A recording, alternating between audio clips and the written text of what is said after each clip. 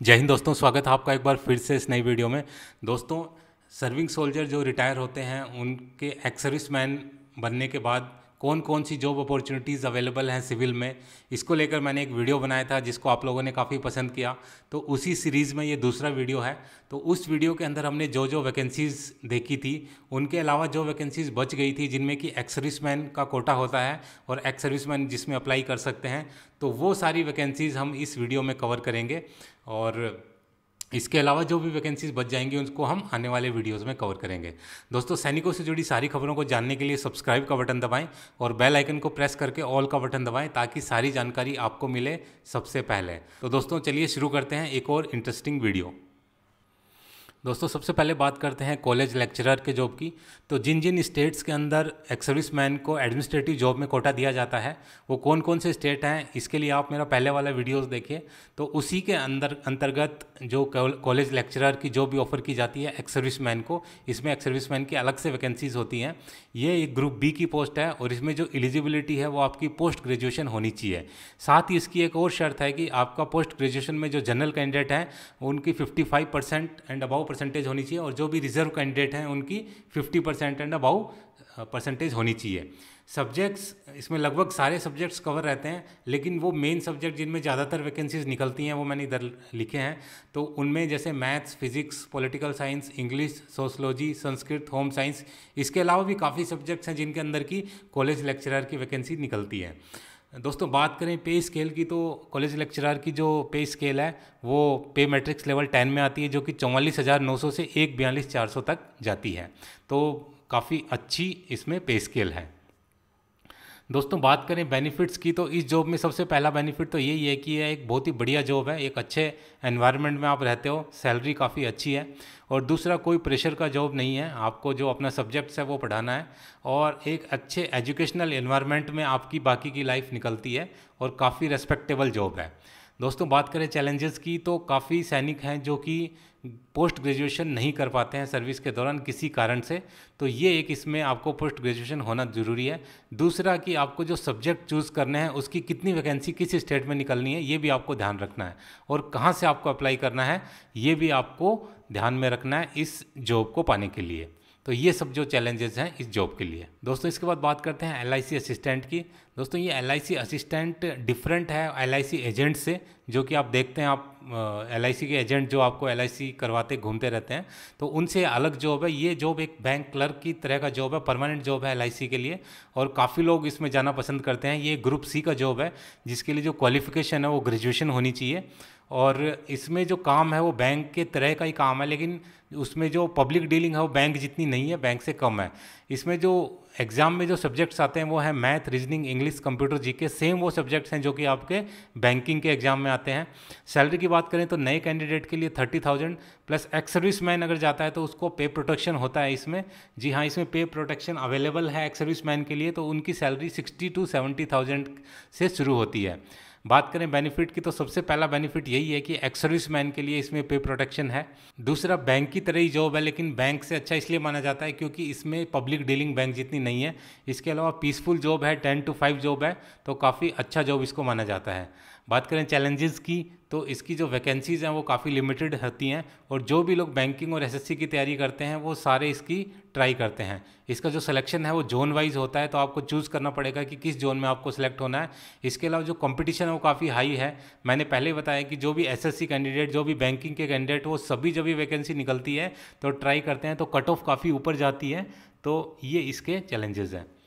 बात करें S S की तो ये भी एक काफ़ी बढ़िया जॉब है, जो भी कैंडिडेट ट्वेल्थ पास हैं उनके लिए, और ये भी एसएससी के द्वारा कंडक्ट किया जाता है, और ये ग्रुप सी के अंतर्गत आता है। इसके लिए जो क्वालिफ़िकेशन है, वो ट्वेल्थ पास की ज़रूरत है। इसके अंदर जो पोस्ट जिनमें की सिलेक्शन होता है, वो हैं एलडीसी यानी कि लोअर डिवीज़न क्लर्क जे यानी कि जूनियर सेक्रेटरीट असिस्टेंट इसके अलावा पोस्टल असिस्टेंट जो पोस्ट ऑफ़िस में होते हैं सॉर्टिंग असिस्टेंट इसके अलावा डाटा एंट्री ऑपरेटर तो ये सारी पोस्ट इसके अंतर्गत कवर होती हैं। क्वालिफिकेशन जैसे मैंने बताया ट्वेल्थ पास जो भी हैं, वो इसमें अप्लाई कर सकते हैं। सब्जेक्ट्स जो इसके एग्ज़ाम में आते हैं, वो सब्जेक्ट्स हैं इंग्लिश मैथ रीजनिंग और जीके बात करें इसकी सैलरी की तो इसकी सैलरी पच्चीस हज़ार पाँच सौ से इक्यासी हज़ार एक सौ है, जो कि पे मैट्रिक्स लेवल फोर में आती है। बात करें जॉब की तो जो ट्वेल्थ पास कैंडिडेट हैं, उनके लिए one of the best job है S S C C H S L का। सभी को ट्राई करना चाहिए और सैलरी भी काफ़ी ठीक है उस हिसाब से। और जो काम है, वो भी नॉर्मल है, कोई ज़्यादा आपको हैवी वर्क इसमें नहीं है। चैलेंजेस की बात करें तो कंपटीशन काफ़ी हाई रहता है क्योंकि ग्रेजुएट कैंडिडेट भी इसमें ट्राई करते हैं ट्वेल्थ के साथ साथ और एक और चीज़ इसमें इंपॉर्टेंट है कि इसमें टाइपिंग स्पीड की ज़रूरत होती है। इसमें 35 वर्ड पर मिनट की टाइपिंग स्पीड चाहिए जो कि आपको डेवलप करनी पड़ेगी। इसके अलावा इसका जो प्रोसेस है थोड़ा लंबा है थ्री टीयर में एग्ज़ाम होता है। तो इसका जो सिलेक्शन प्रोसेस है वो पूरा कंप्लीट होने में लगभग आपका डेढ़ से दो साल का टाइम लग जाता है। तो ये चीज़ आपको ध्यान में रखनी पड़ेगी अप्लाई करते समय। दोस्तों फॉरेस्ट ऑफिसर और रेंज ऑफिसर का जो जॉब है वो भी काफ़ी पॉपुलर है। इसमें भी एक्स सर्विसमैन की वैकेंसीज़ होती हैं। ये भी एक स्टेट लेवल का जॉब है और काफ़ी स्टेट्स इसमें एक्स सर्विसमैन के लिए कोटा प्रोवाइड कराते हैं। दोस्तों, इसके लिए जो क्वालिफिकेशन की ज़रूरत है वो है ग्रेजुएशन जो भी ग्रेजुएट कैंडिडेट हैं वो इसमें अप्लाई कर सकते हैं। इसका जो सिलेक्शन है वो दो टीयर में कंप्लीट होता है, पहले एग्ज़ाम होता है और उसके बाद इंटरव्यू होता है। दोस्तों, बात करें सिलेबस की तो इसमें दो सब्जेक्ट्स जो कंपलसरी होते हैं जनरल नॉलेज और इंग्लिश तो ये आपको एग्ज़ाम इनका देना ही होगा। साथ में आपको कोई भी दो ऑप्शनल सब्जेक्ट लेने पड़ेंगे और इनमें से कोई एक सब्जेक्ट आपके ग्रेजुएशन में होना चाहिए। तो टोटल ये फोर्टीन सब्जेक्ट्स हैं, मैंने फोर्टीन के फोर्टीन नहीं लिखे हैं तो ये आप जाके चेक कर सकते हैं। मैंने कुछ सब्जेक्ट्स लिखे हैं मेन जो हैं, वो हैं agriculture physics chemistry botany computer math environmental science etcetera salary की बात करें तो पे लेवल इलेवन में इसकी सैलरी आती है पैंतालीस हज़ार तीन सौ से एक इकहत्तर तीन सौ। बात करें बेनिफिट की तो जॉब काफ़ी बढ़िया है, सैलरी काफ़ी अच्छी है और वर्कलोड भी इतना ज़्यादा नहीं है और काफ़ी पीसफुल जॉब है। अगर चैलेंजेस की बात करें तो सब्जेक्ट्स आपको जो ग्रेजुएशन में वो आपको देखना पड़ेगा कि कौन से सब्जेक्ट्स आपने ग्रेजुएशन की है। पोस्टिंग और ट्रांसफ़र उसी एरिया में होते हैं जहाँ पर कि फॉरेस्ट अवेलेबल हैं। इसके अलावा कंपटीशन इसमें काफ़ी हाई रहता है इसके बाद बात करते हैं टीचर की। दोस्तों टीचर का जॉब भी बहुत ही बढ़िया जॉब है। काफ़ी एक सर्विस मैन पसंद करते हैं रिटायरमेंट के बाद टीचिंग के जॉब में जाना। और काफ़ी स्टेट्स हैं जो एक्स सर्विस मैन को काफ़ी अच्छा कोटा प्रोवाइड कराते हैं टीचर के जॉब के लिए। इसमें जो क्वालिफिकेशन है वो आपकी ग्रेजुएशन के बाद बीएड होना कंपलसरी है। जो सब्जेक्ट्स हैं जो आपको एग्ज़ाम में फेस करने पड़ेंगे, वो सब्जेक्ट एक आपका जो बीएड में सब्जेक्ट है वो कंपलसरी इसके अलावा आपको जो अदर सब्जेक्ट्स हैं, उनमें geography history general knowledge current affairs education psychology ये सब आपको एग्ज़ाम में फेस करने पड़ेंगे। सैलरी की बात करें तो फ़र्स्ट ग्रेड टीचर की सैलरी चौवालीस हज़ार तीन सौ plus grade pay second grade सैंतीस हज़ार आठ सौ प्लस ग्रेड पे और थर्ड ग्रेड टीचर की तेईस हज़ार सात सौ प्लस ग्रेड पे। दोस्तों, ये सैलरी जो मैं बता रहा हूँ, सभी जॉब्स के लिए इसमें स्टेट टू स्टेट थोड़ा वेरी कर सकता है, क्योंकि सभी जो स्टेट हैं, उनका जो सैलरी का जो मैट्रिक्स है, उसमें थोड़ा चेंज पॉसिबल है। बेनिफिट की बात करें तो काफ़ी बढ़िया जॉब है टीचर का सैलरी काफ़ी अच्छी रहती है।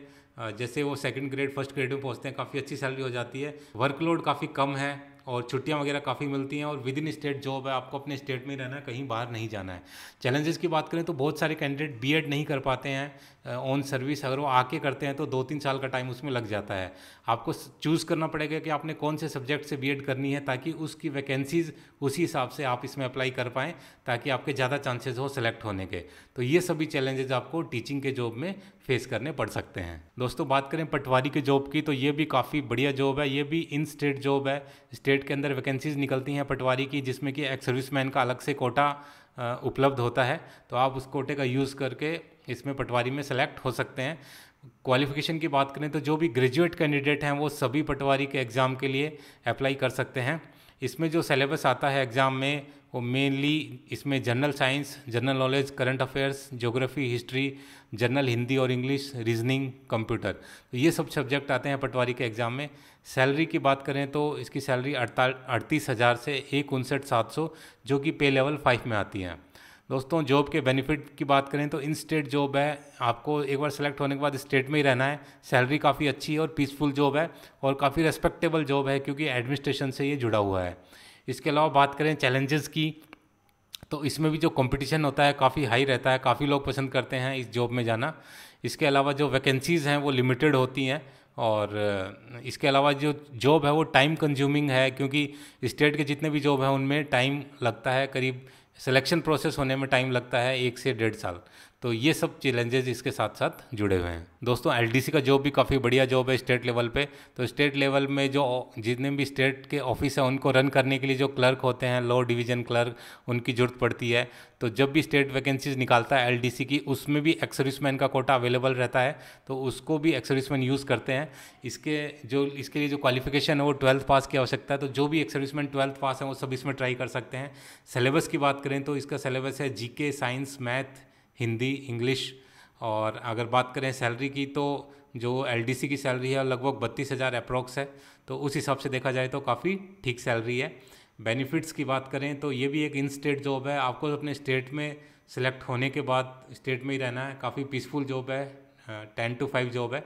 इसके अलावा बात करें चैलेंजेस की तो वही है कंपटीशन इसमें काफ़ी रहता है, काफ़ी लोग इसमें ट्राई करते हैं और जो इसमें टाइम है, वो लग सकता है सिलेक्शन प्रोसेस के अंदर। तो दोस्तों, ये सारे जॉब थे, इसमें स्टेट टू स्टेट थोड़ा वेरी कर सकता है, लेकिन ज़्यादातर स्टेटों में इन सभी जॉब के अंदर एक्स मैन के लिए कोटा अवेलेबल रहता है। दोस्तों, इसी के साथ ये वीडियो समाप्त करता हूँ। वीडियो में बने रहने के लिए आप सभी का धन्यवाद। उम्मीद है कि ये वीडियो आपको पसंद आया होगा। अगर वीडियो आपको पसंद आया है तो लाइक शेयर एंड सब्सक्राइब का बटन दबाएँ और बेल आइकन को प्रेस करके ऑल का बटन दबाएँ ताकि सारे इंटरेस्टिंग वीडियो आपको अपने मोबाइल हैंडसेट पर मिले सबसे पहले। दोस्तों वीडियो में बने रहने के लिए आप सभी का धन्यवाद। आपका दिन शुभ हो। जय हिंद, जय भारत।